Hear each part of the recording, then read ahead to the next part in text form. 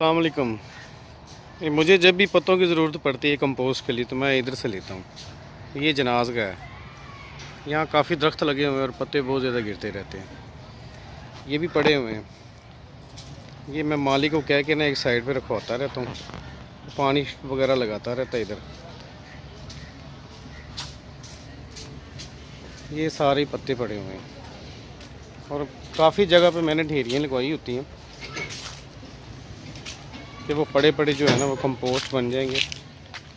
تو یہ میں ایک ڈھیریا آپ کو دکھاتا ہوں۔ یہ پڑی پڑی سارے ڈی کمپوز ہو گئے۔ اور یہ بالکل مٹی بن گئے۔ ماں تو ادھر آ کھول ذرا مٹی نو میں آپ کو دکھاتا ہوں۔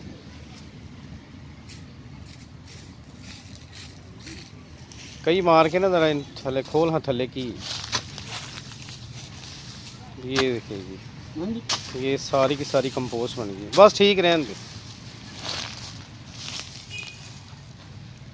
یہ ساری کمپوسٹ بن گئی ہے یہ سارے پتے ہی ہیں۔ مادو پار تھوڑے اور باقی جو ہے یہ سارے پتے اٹھائیں گے۔ اسی طرح ایک سائڈ پہ ہم پھینکتے رہتے ہیں۔ یہاں میں کافی پودے بھی لگاتا ہوں۔ لیکن کبھی میں نے ویڈیو بنائی نہیں ہے۔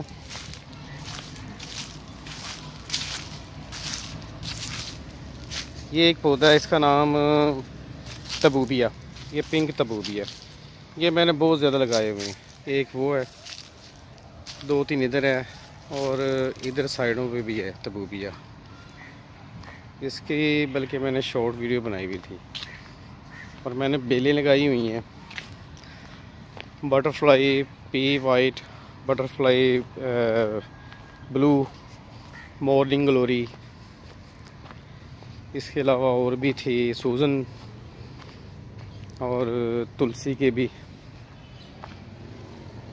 یہ ہے بٹر فلائی کلر پتہ نہیں کون سا پھول اس پہ کوئی بھی نہیں لگا یہ اس کی پھلی لگی ہوئی ہے یہ اس کے سیر ہے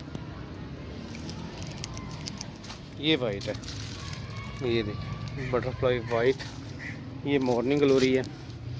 ابھی یہ ساری نیچے ہیں۔ ابھی میں نے ان کو اوپر باندھنا ہے۔ یہاں پہ ایک مضبوط رسی باندھ کے ان کو اوپر چڑھاؤں گا میں۔ یہ بلو ہے اور یہ مارننگ گلوری ہے۔ یہ سوزن وائی سوزن ہے آئس سوزن آئٹ یہ بھی بٹر فلائی ہے۔ پھول اس پہ کوئی نہیں ہے، پتہ نہیں کون سا کلر ہے۔ اور ساتھ مارننگ گلوری ہے۔ یہ بھی بٹر فلائی ہے اور یہ ہے تلسی یہ ساری تلسی لگی ہوئی ہے۔ یہ بٹر فلائی وائٹ ہے۔ یہ اس کا پھول ہے۔ یہ بھی سوزن ہی ہے۔ سوزن آئی۔ ادھر پتہ نہیں کوئی اور تھی۔ وہ سوزن نہیں تھی، یہ ہے۔ اور اس کے علاوہ یہ بھی ہے۔ یہ بھی بٹر فلائی ہی ہے، یہ بلے، یہ تین چار۔ یہ تبوبی ہے، یہ والا۔ یہ بھی تبوبی ہے، ساتھ والا بھی۔ اور ایک میں آپ کو اور ڈھیر دکھاتا ہوں پتوں کا۔ وہ بھی میں نے کافی عرصے سے رکھوایا ہوا ہے۔ یہ جنازگاہ کے ساتھ ریلوے ٹریک ہے یہ ساتھ ہی۔ یہ ٹرین بھی کھڑی ہوئی ہے۔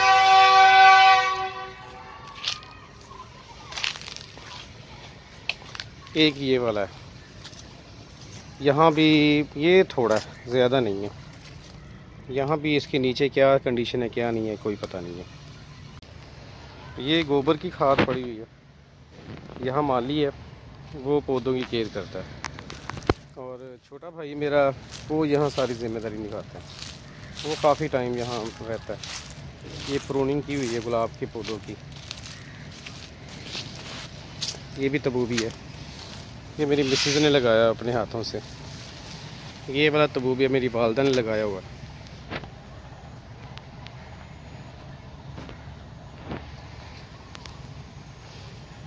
اور یہ رین لیلی دیکھیں۔ ماشاءاللہ، پھول دیکھیں ان کے۔ یہ سارے رین لے لیے۔ یہ دو وائن ہیں۔ ایک گر گئی تھی نیچے، اور یہ وہیں پہ پڑی ہوئی ہے۔ ایک جھمکا ہے، دوسری کا نام میں بھول گیا ہوں، سوری۔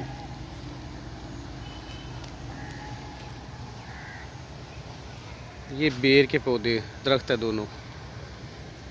یہ فائکس ہے۔ یہ ہائبسکس دیکھیں کلر اس کا۔ یہ پنک کلر ہے۔ یہ وائٹ ہے۔ پودا نیچے ایک ہی ہے۔ یا دو ہیں، کوئی پتہ نہیں ہے۔ پھول برل دو کلر کے ہیں اس پہ۔ یہ رین لیلی کے ساتھ ساتھ کنگی پام لگا ہوا ہے۔ یہ بھی ہے۔ یہ بھی ہے۔ چھوٹے چھوٹے پودے لگے ہوئے ان کے بیبی ہیں۔ یہاں بھی کٹنگ گلاب کی کی ہوئی ہے، مالی نے میرا خیال وہ شام کو ابھی آنے والا ہوگا۔ یہ میں نے پودے لگائے تھے اس کے گلے دودی کے پچھلے سال۔ اس سال بھی میں انشاءاللہ لگاؤں گا۔ ادھر بھی لگائے تھے، وہ پتہ نہیں چلے ہیں کہ نہیں چلے۔ نہیں، ادھر والے نہیں ہیں۔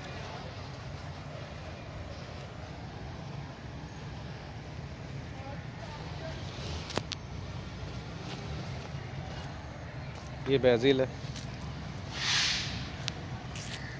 یہ نیچے والا کو مجھے نہیں پتا کون سے اور یہ ماشاءاللہ کافی درخت ہے ادھر، اور پتے بہت زیادہ مجھے ادھر سے مل جاتے ابھی بھی کافی پڑی ہوئی ہے۔ تقریباً کو آٹھ توڑے یہاں سے مجھے مل جائیں گے۔ اور یہ ساری نیچے میں کٹھی کروا دوں گا اس کے اوپر ہی۔ یہ دو توڑے میں لے آؤں پتوں کے۔ اس میں صرف پتے ہی ہیں۔ وہ بھی پرانے چھوٹے چھوٹے ہوئے ہیں۔ اور یہ دو توڑے جو ہیں، یہ کمپوسٹ کے ہیں، جو پتوں کی کھاد میں وہاں سے لے کے آیا ہوں۔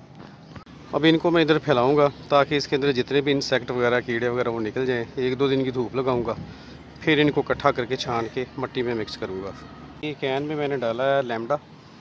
اس کو میں پھیلاؤں گا۔ پھیلا کے تو اس کے اوپر جو ہے نا لیمڈا کا چھڑکاؤ کر دوں گا۔ تاکہ اس کے اندر جو کوئی بھی انسیکٹ ہو، جو چھپا ہو، وہ مر جائے گا۔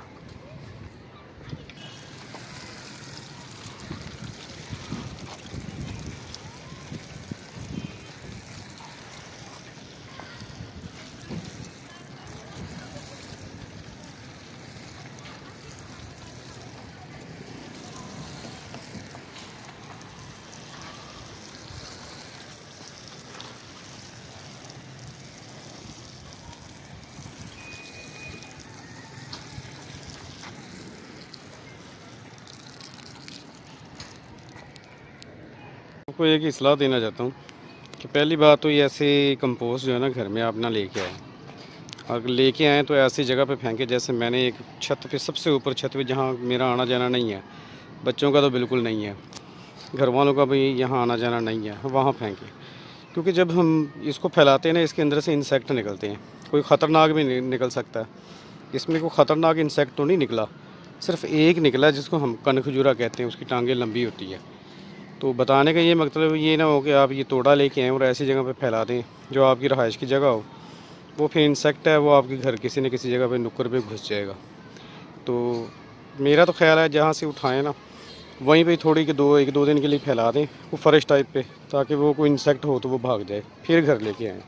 لیکن میں تو کافی بار لے کے آیا ہوں، مجھے تو پتہ ہے اس کو لے کے آنا تو کیسے، اس کو پھیلانا، کس جگہ پہ پھیلانا۔ یہ چھت ہے، یہاں پر کوئی بھی نہیں ہوتا۔ تو میں نے اس لیے اس کو اس کارنر میں پھینکا اگر کوئی کیڑا مکوڑا کوئی جانور نکل بھی ہے نا، تو میں اس کو مار سکوں۔ اس کو جی تین دن ہو گئے ہیں پڑے کو، تو کافی بالکل خشک ہو گیا۔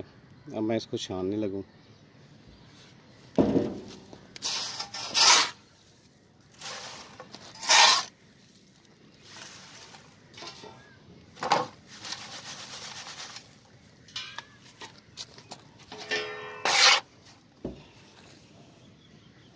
یہ ساری کمپوسٹ بنی ہوئی ہے۔